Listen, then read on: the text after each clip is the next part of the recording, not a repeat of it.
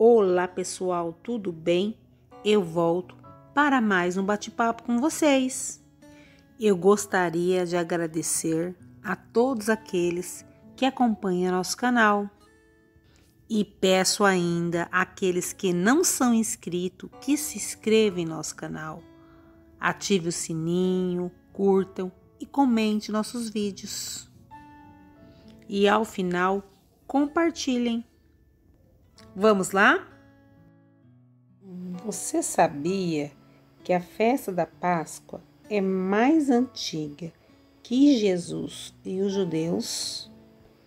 Muito bem antes do cristianismo, a entrada da primavera era comemorada em rituais que têm muito em comum com a Páscoa dos cristãos. Atualmente, a Páscoa é um feriado cristão que é lembrada pela ressurreição de Jesus. Porém, a verdade é que a Páscoa já existia antes de Jesus. Povos antigos já faziam festas e trocavam ovos de galinha nessa época do ano, muito antes mesmo de os judeus existirem. Antes do cristianismo, a entrada da primavera era comemorada em rituais que têm muito em comum com a Páscoa dos cristãos.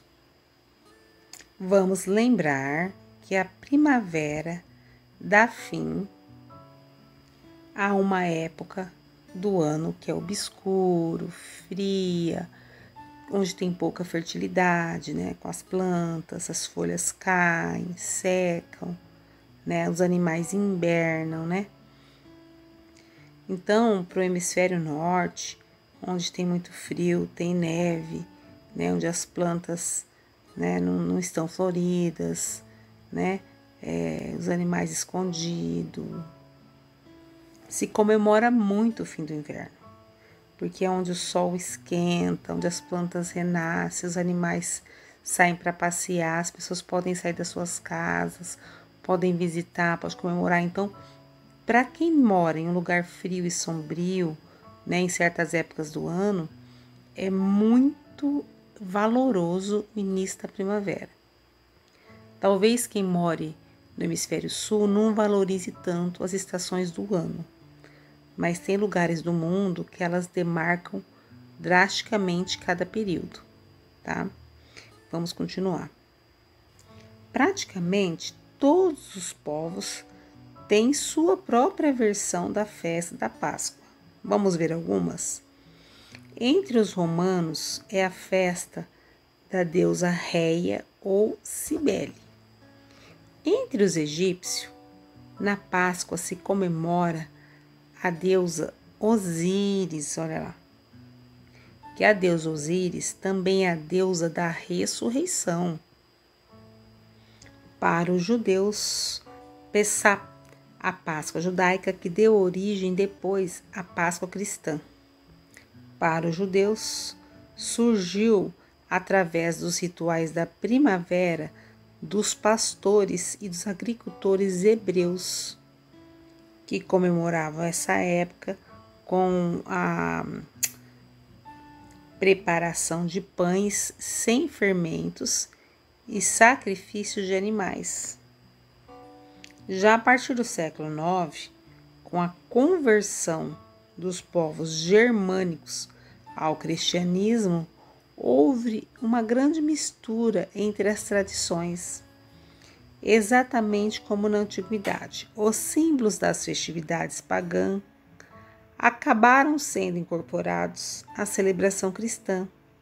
É o caso do coelhinho, por exemplo. O animal era nada mais, nada menos que a representação da deusa da primavera entre os povos bárbaros.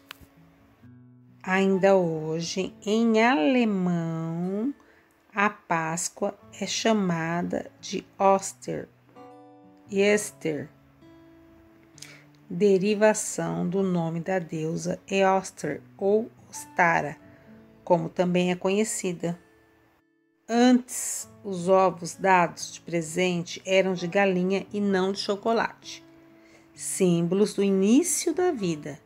Eles não serviam para serem comidos, eram decorados e celebravam Iostre ou Ostara, representada por uma mulher que segurava um ovo em sua mão e observava um coelho, alegoria da fertilidade os cristãos se apropriaram da imagem do ovo para festejar a Páscoa, que celebra a ressurreição de Jesus. O Concílio de Nicéia, realizado em 325, estabeleceu o culto à data. Na época, pintavam os ovos, geralmente de galinha gansa ou codorna, com imagens de figuras religiosas, como o próprio Jesus e sua mãe Maria. A cultura do chocolate foi inserida pelos franceses no século XVIII. Confeiteiros da França resolveram testar o uso de uma iguaria que tinha chegado à Europa. Dois séculos antes, vinda da América recém-descoberta, é claro que a novidade fez o maior sucesso. Muito mais legal ganhar um ovo de chocolate do que um ovo de galinha, não é verdade? Assim iniciou essa nova tradição: presentear com ovos de chocolate. Bom, pessoal, vamos parando por aqui. Eu gostaria de agradecer a todos que acompanharam o nosso conteúdo. Convido ainda para nos encontrarmos no próximo vídeo. E lembrem, aqueles que não estão inscritos, não deixem de se inscrever e ativar o sininho.